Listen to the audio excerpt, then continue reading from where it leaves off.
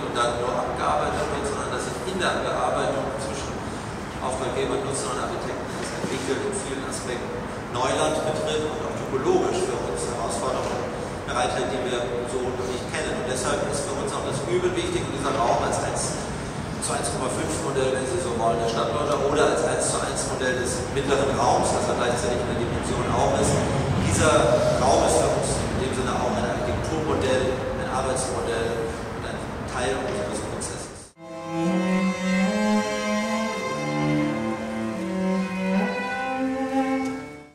wir brauchen Weltfrieden. Und dies ist eine Idee, was man schluckt und man lebt. Und ich lebe diese Idee so weit, dass ich habe mich gemischt in Weltfrieden. Und ich habe jetzt ein Lied für Sie heute geschrieben und ich singe das jetzt. Das ist für euch in der House of One. Und hinaus. Hinaus. It's the power of love.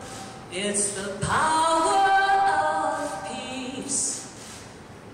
Puts the iron fist to the glove with the power of love.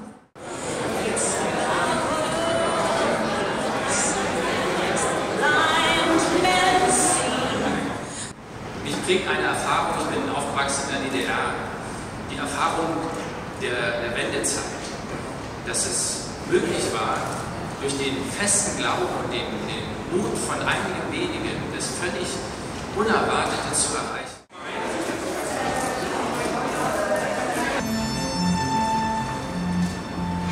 Wenn unser Projekt Erfolg haben soll, und äh, das wollen wir, dann braucht es etwas Freundschaftliches, also etwas Gemeinsames, ein Miteinander, die aber nur dann äh, sichtbar ist, wenn man auch heikle Themen miteinander diskutieren kann. Also wenn man Freunde, äh, richtige Freunde sind, dann kann man auch schwierige Themen äh, aussprechen.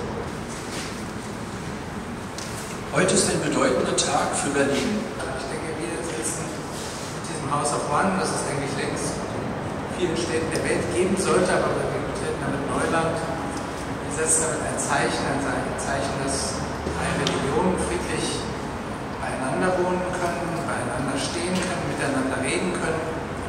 Und äh, dafür ist dieser Pavillon, den wir heute hier sozusagen der Öffentlichkeit übergeben, ein erstes äh, It's sichtbares the power of love.